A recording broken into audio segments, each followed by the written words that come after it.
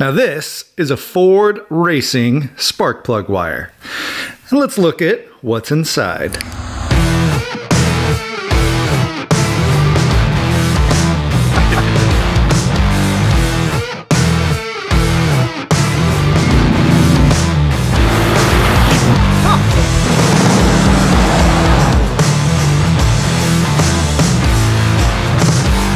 Welcome back to the garage, the place where we're making your classic car your dream classic car. Now, if this is your first time here, I would love to have you subscribe. I'm putting out how-to videos for the weekend mechanic and just providing classic car tech for the classic car community. Now today what we're talking about is spark plug wires. Now when I was a young lad, I used to think that like a good spark plug wire would give you like extra horsepower. It's not true, okay? Uh, let's just be clear about this. The most expensive spark plug wire you can buy is not gonna give you any more horsepower than what your car can make. But a bad spark plug wire or uh, like an old faulty spark plug wire will decrease your horsepower, the horsepower that your car can make. So it's not that, you know, these can add any extra horsepower, but it is a thing where if you're feeling a little sluggish, then Spark plugs and spark plug wires could be one of the causes. We're looking at what are the best spark plug wires for the classic Ford 302 engine. Now this is a Ford Racing spark plug wire. And let's look at what's inside.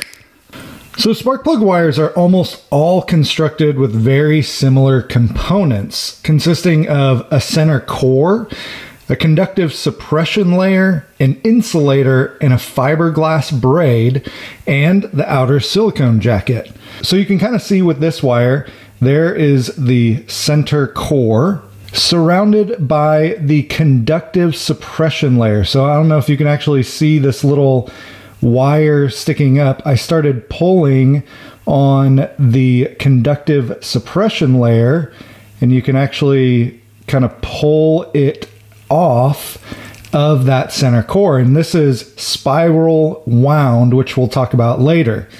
Then you can see the insulation layer, that light gray layer, followed by the fiberglass braid sticking out right there, then surrounded by the silicone outer layer. So let's break it down. The purpose of a spark plug wire is to get an energy pulse from point A to point B. And that energy, you want it to stay within the wire. You don't want it to seep out of the wire or affect the other wires around it. But also, you want a good uh, shielding so that other electronic pulses or other electronics around your engine don't then affect your spark plug wires and add energy pulses into the wire itself. So that's one way to look at a spark plug wire. The other way is how much of the energy is getting from point A to point B. What you're looking at is, is there any resistance in the wire itself keeping that energy from fully getting from point A to point B. Now, I'm way oversimplifying this. I'm, I'm breaking it down super simple for this video, but you want your spark plug wire to be able to shield anything that's coming in from the outside.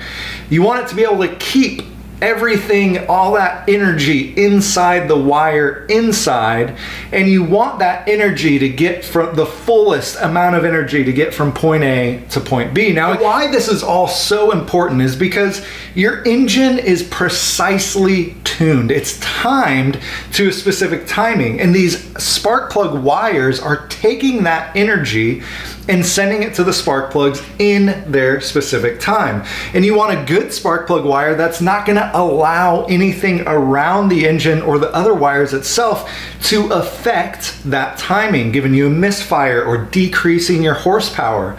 But the inverse is also true. I just installed the Edelbrock ProFlo 4 and they want you to have a good enough wire that the energy inside the wire isn't going to affect the ECU that is in the EFI. So, all that to say, What is the best spark plug wire for your Ford Bronco or your classic car? Now, when you search on Amazon, you're gonna see a couple numbers that are thrown around. One is the thickness of the wire. So these JDM speed wires claim to be 10 millimeters, 10.5 millimeters thick, while these are 9 millimeters thick, and these are 10.5 as well. Uh, further down, you'll probably see some 8 millimeter wires. There's an 8 millimeter. So let me just say, thicker is not better. Don't buy a wire because it's thicker. So I actually have two wires here, and you can see that the white inside the one is that insulation that we talked about, and the gray is the Ford Racing wire. So the gray one has more insulation, so it's a thicker wire. But the silicone on the outside or the insulation inside isn't the thing that's shielding this wire from outside interference. And it's not the thing that's keeping that electronic pulse in the wire either. The shielding's coming from the suppression layer, which is right there. Inside the white layer, there's a black layer, and that is the suppression that is actually keeping that current in the wire and keeping outside current out.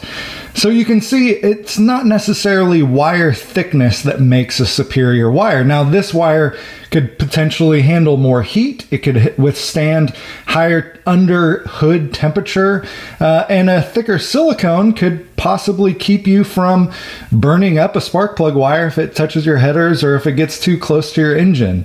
So it's not a bad thing to have a thick wire, but it's definitely not going to keep the current in more. The next thing you're going to look at is wire design. Now, solid core wires are more designed for an engine that doesn't require as much shielding, where a spiral wound wire is better for lower resistance. So these 10 and a half millimeter JDM speed racing spark plug wires, uh, let's see here, they are ultra low resistance, Kevlar, RFI suppression. Let's see, see more product details. Um, spiral wound design. So, uh, you know, they're that is a good sign, but most spark plug wires these days are going to be spiral spiral wound design. Um, but that is something that you want to make sure that these spark plug wires are. The final thing you'll start to see when looking on Amazon is ohms, O-H-M-S. So we can look here, this is the MSD 5553 Street Fire spark plug wire set. This is one of the ones that uh, I cut into, but what I liked about these was you could make them your own length. So, you know, I got a good length out of them. This is helically wound conductor suppresses electro and radio noise, Kevlar core, but here's the thing that you're looking at 502 ohms per foot of resistance. Less resistance means more current is going to pass through the wire so that pulse is going to get from point A to point B uh, with less resistance. So the lower the number here, the better. But to get less resistance, you have to pay a price. These are the wires that I'm currently running on my Bronco. You can see that I just bought them back in April. And these have 50 ohms per foot for superior spark. That is a superior spark right there at 50 ohms.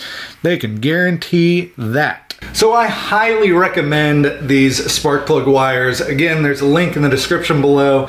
Uh, but these are recommended by Edelbrock or they fit within the parameters that Edelbrock said was an acceptable wire.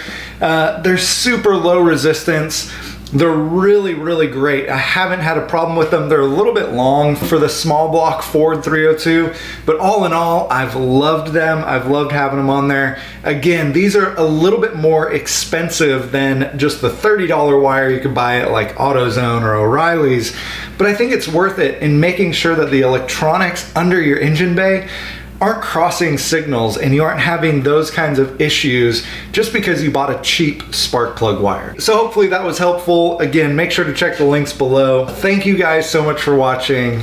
I'll see you next time.